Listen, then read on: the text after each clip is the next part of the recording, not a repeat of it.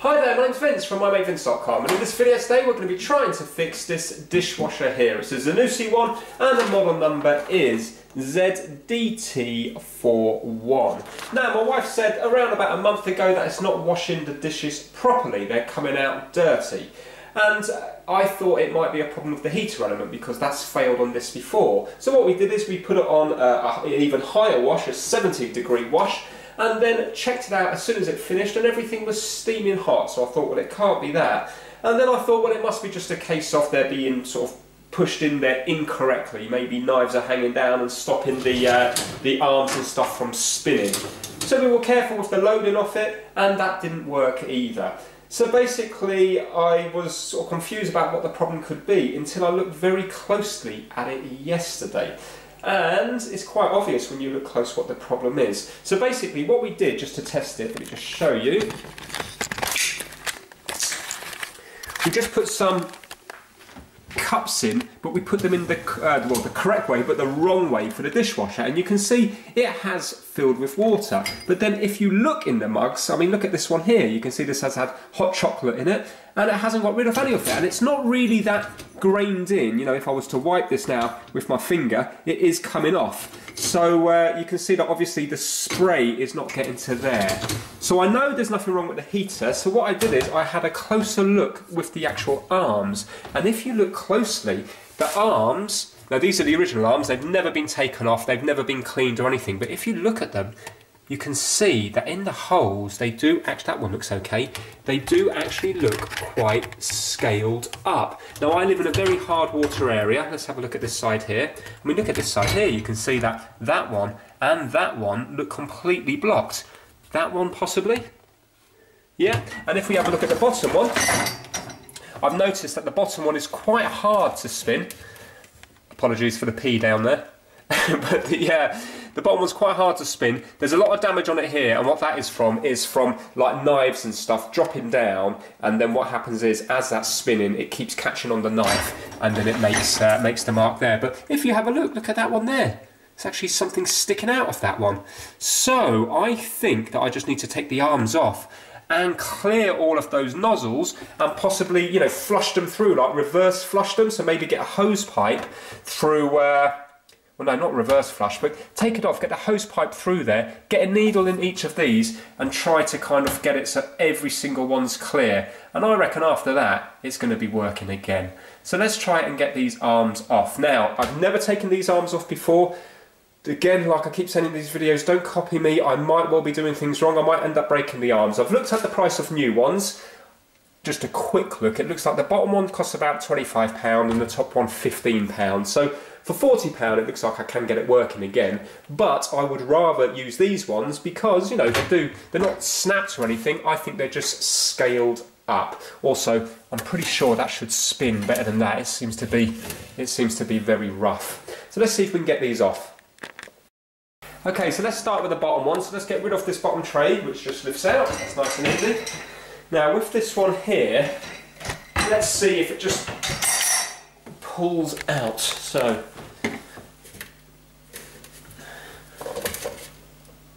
remember these have never been done before, so they might be stiffer than normal.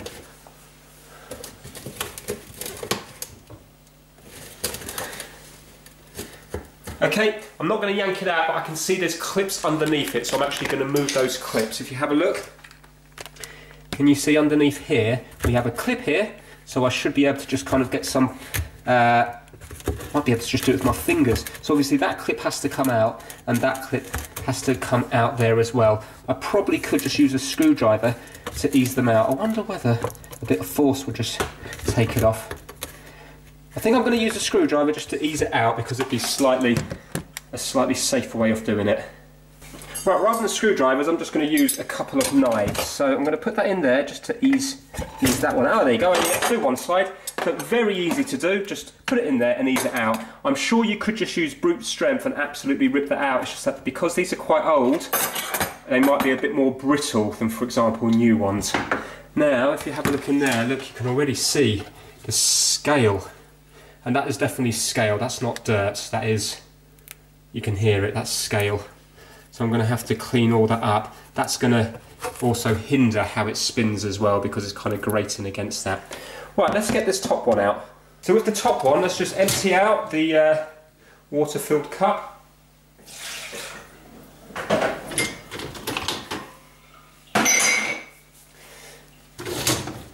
And let's unclip the sides here. So if you have a look at the sides, you can see that there's a bit here that we can just move to the side and that will allow us to take out there you go, you see it just pops to the side and it will allow us to take this out completely. So now we can just it down here and let's have a look, see if it's the same, same sort of setup.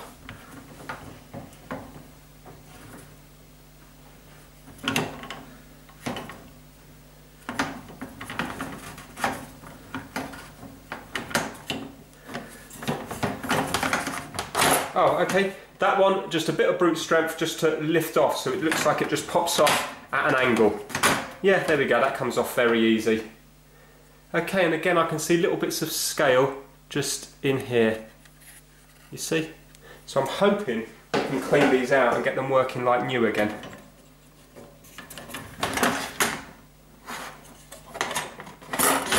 I'm thinking that this is, this one itself, this arm should be okay because the holes are quite big, so there's no real place, I don't think, for the scale to build up in there because everything looks like just a, a big kind of pipe. Right, okay, let's uh, have a think about how we're going to clear the scale out of these arms. Okay, so I've got them on my little mat here and I'm going to try to just clean them out using things like tweezers, a little screwdriver. I've even got a little needle here. Now I've asked my wife and she's given me this professional lime scale remover, but if I'm using this, I'll probably use this outside. It's supposed to, you're supposed to just put a bit on and it's supposed to uh, like dissolve it away. But I'm thinking most of this will come out by just poking around because it really is absolutely everywhere. I mean, even if you look at the side here, can you see that's completely blocked up? And that one. So, uh, yeah, look at that one there. So this is why the dishes are not getting the spray of water because only so many of these holes are free, so only so many of the dishes are going to get sprayed. I presume it needs to be spraying out everywhere to clean the whole basket of dishes. So it's kind of really obvious when you know, but I've never I've never done this before, and even in my old house, I had a Bosch Slimline dishwasher that I had there for think I had it for 10 years and I never once had this problem and I never had to clean it. So, uh, I don't know, maybe the next owner had to do it a few months after me leaving, I don't know. Now I'm hoping the reason it was hard to spin was just because of these bits of hard scale here. Right, so let me just do one of them kind of live, well not live, but in real time, and then after that we'll do the rest just fast forwarding because it's just going to take it's going to take quite a long time. So let's just start with this one here. You can see that this is completely blocked. Ah yeah, there you go, look. Yeah, so that's what's happened. The bits are just flying down the inside and then being forced out here. Yeah, there you go, that's clear. And now what I can do is when I've cleaned each of them, they don't take much to clear, I can then get the hose pipe, force it down here outside, and it will shoot out of all the holes. And then we might find a few more of them get blocked because there's probably plenty of scale in these bits here. And then uh, eventually we will be able to do it, be able to get them all. Look at that one. Okay, I managed to knock that one back in. Let's get some tweezers on that. Then I'm going to find this quite therapeutic. Okay, now that one's gone back in. Bit of a shame.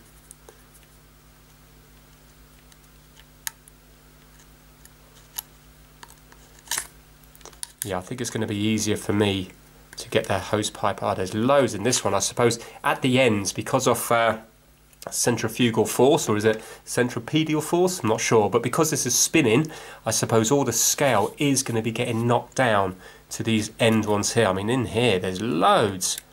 I can feel it. Yeah, there's loads in that. And that one there.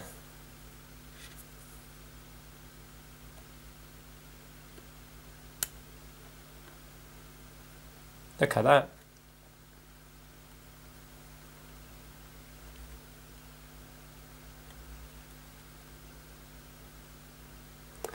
There you go, there's a good amount come out of that one. Right, so you get the idea, that's what I'm going to be working on.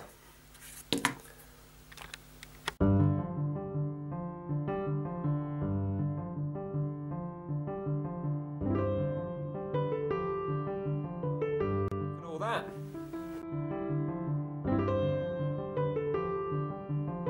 See it all falling out when I just whack it. Loads coming out of it.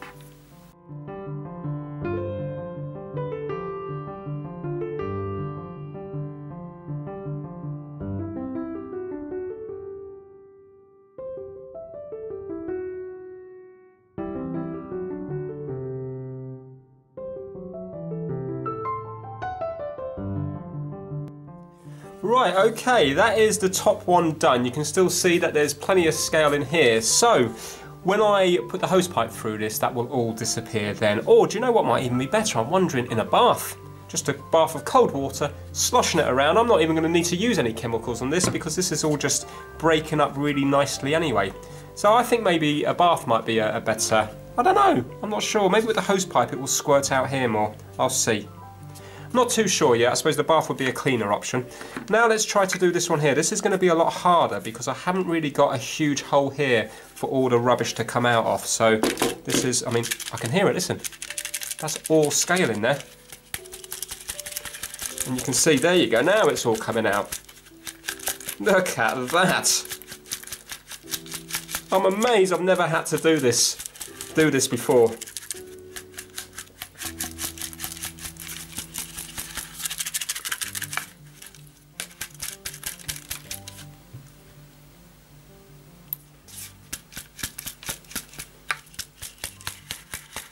Shows you how much hard water ruins things.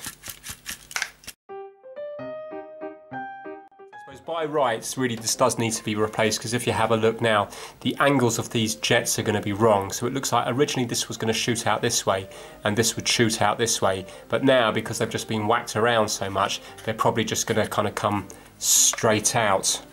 But uh, I think it will be okay.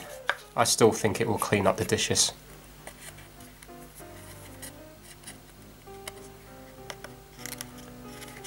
Dishwasher's old now. It's uh, about six years old and I don't think it was that expensive to begin with so I really wouldn't want to be spending too much money on it.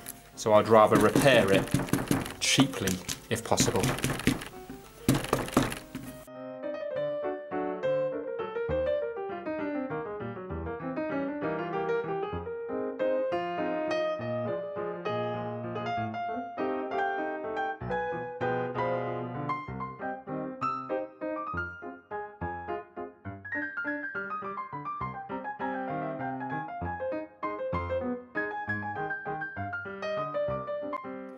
Right, look at that. So basically all these are just rock hard bits of scale. So some of these are kind of like uh, sludgy here, that's just where the water's mixed with it. But if you listen now, no more shake and no more shake. So what I'm going to do is I am going to get the hose pipe on this because I want to see all the bits flying around the place. So I'm going to put my wellies on because it's going to be a bit dirty.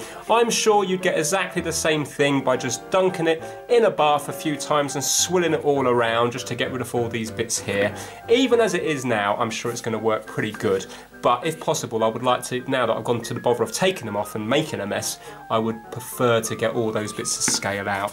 But you know what, that was a really enjoyable job. Slightly on the messy side, but uh, yeah, really good. So I'm going to bring these outside now with the hose pipe. Right, so I've got the hose pipe now. I'm going to put it on the most, uh, the kind of most one like a jet. Hold on now.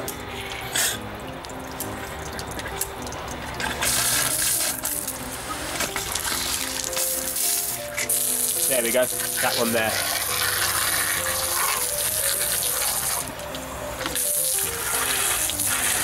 Right, so I can see it coming out all those holes there. Can see how it works now.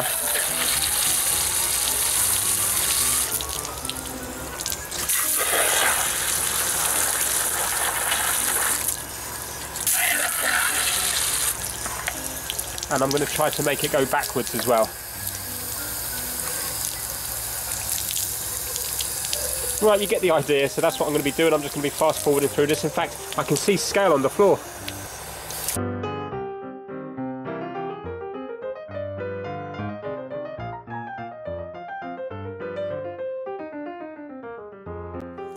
Yeah, lots come out of this one if you look straight down there, all around here.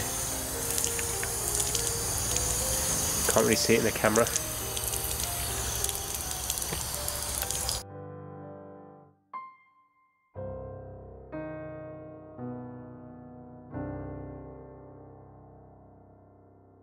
I'm happy with that now. It appears to be coming out of all the holes. So when I put it in there, you can see it's coming out of everything. And on this one.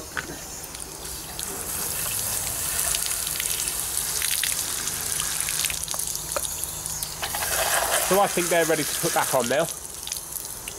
Right, so it's just a case of whacking them back on now. So let's start with the top one. Pressure fit and that will be fine when it's hanging the right way around. So let's pop that back into the little grooves.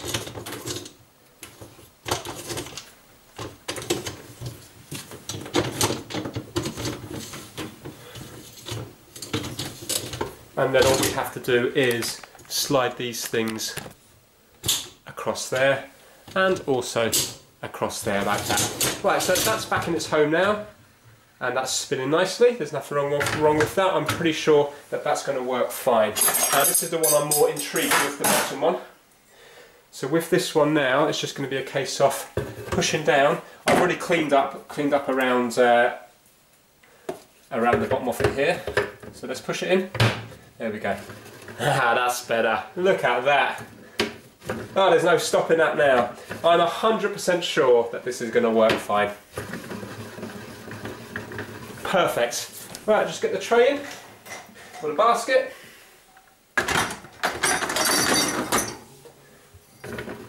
Yep, perfect. Remember, that's only doing it because I'm doing it. When the weight, when the water's in it, it's going to be going through its own uh, own momentum. Yeah, well happy with that. So now we're just going to put a wash on and uh, put in a dirty couple of cups and plates and hopefully it will come up nice and clean again like it used to. Okay, so it's the end of the day now, and we've got our normal load in here. I normally give everything a quick rinse before going in the dishwasher anyway, so it has quite an easy life. That plate's still got a bit of stuff on it. Let's uh, pop it on. I'm going to put it back to the normal one that we used to use before it started to play up. I think it was 60, so let's uh, turn it on, move that round. 65 is what we normally have it on. So uh, let's see how it performs. Okay, so it's stopped. Let's see if it's uh, done. Right. Perfect. Yeah, okay, that's not like it was before. You remember that one there.